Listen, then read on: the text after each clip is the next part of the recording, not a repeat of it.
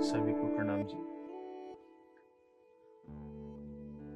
हम सबको विदित है कि समय का चक्र किसी के लिए भी रुकता तो नहीं। जैसे कि ये जो शरीर है, पहले बालक था, एक समय में ये युवा रहता है।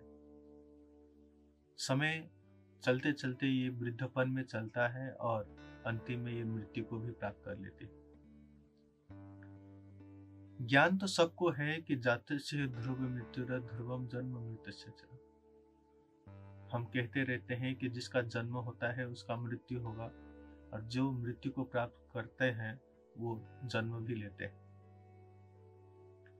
लेकिन ये इतने ज्ञान की गहराई में जाने के बाद भी हम ये नहीं सोचते कि हम क्यों सत्य को पाना नहीं चाहते।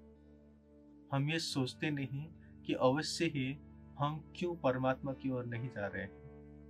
हमने इस शरीर से परे होते हुए अपने आप को ढूँढने का प्रयास क्यों नहीं किया? हम एक उदाहरण से ये समझ सकते हैं कि जैसे गौतम बुद्ध है, एक राजकुमार थे, जिसका नाम सिद्धार्थ गौतम था। उनके पास धन, महल तथा उनकी इच्छा के मुताबिक सब कुछ उनके पास था।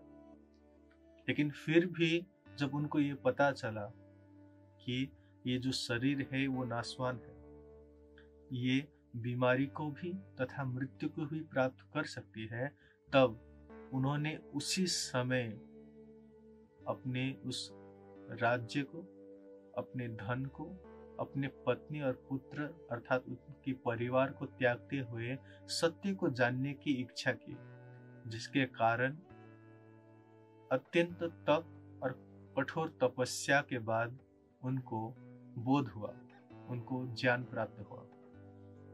आज हमें ये ज्ञान हो चुका है कि हम परमधाम से आए हुए हैं। हम वाणी के माध्यम से तथा अनेकों शास्त्रों के माध्यम से प्रमाण देते हुए ये कहते हैं कि हम परमधाम की ब्रह्म सृष्टिया है। लेकिन प्रश्न हमें ये करना ज़रूरी है कि जो गौतम बुद्ध थे और हम हैं, क्या हम में ज़मीन आसमान की फ़र्क नहीं? ये जो प्रश्न है कि हमारा घर कौन है, कौन सा है, कहाँ है? हमारा सच्चा स्वरूप क्या है?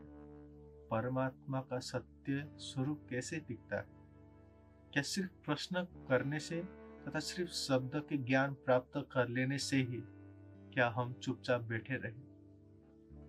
या सिर्फ़ हमें इसी शब्द के ज्ञान में उलझते हुए ही रहना है? मुख्य बात यही है कि ज्ञान भले ही कितना भी मीठा हो, लेकिन ज्ञान सिर्फ़ बुद्धि तक ही रहती है। लेकिन जब वही ज्ञान अनुभूति के स्तर पर पहुँचती है तो वो ज्ञान अब विवेक बन जाती है। तो उस कारण से यदि हम सच में चाहते हैं कि हम उस ज्ञान की अनुभूति करें तो अवश्य ही कथनी से बढ़कर हमें करने और रहने में आना ही चाहिए। कथनी से हमारे मन और बुद्धि तथा हमारे आचरण में हल्का सा प्रभाव पड़ता है। लेकिन जब हम सच में आचरण में उसको उतारते हैं तो हर जीवन में उसका प्रभाव दिखाई देता है। वाणी में भी कहा गया है कि ये जो वाणी है, इस दुनिया की स्वप्निक बुद्ध की वाणी नहीं है। ये वाणी निराकार से पार थे, तीन पार के भी पार की बात करती है। आज जो हम सोए हुए हैं, सुता हो सो जागियो, जागे बैठा हो बैठा ठाड़ा हो ठाड़े पग भरे आगे सो। जो कोई भी सोया हुआ है, उसको जागने की ज़रूरत है। उसको अपने एक एक कदम को बढ़ाने की ज़रूरत है। यदि हम अपने एक पग को भी बढ़ाते हुए दिन प्रतिदिन आगे बढ़ते हैं तो अवश्य ही हम अपने मंजिल तक पहुँचने में कोई भी हम प्रश्न खड़ा नहीं कर सकते कि हम नहीं पहुँचेंगे, हम ज़रूर पहुँचेंगे। लेकिन अवश्य ही, जो व्यक्ति एक पग भी नहीं चला, वो कभी भी ये कल्पना और सपना नहीं देख सकता कि वो मंजिल तक पहुँच जाएगा।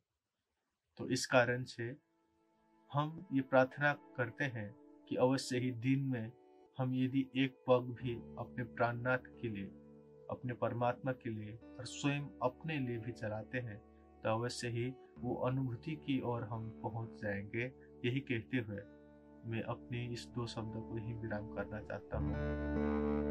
प्रणाम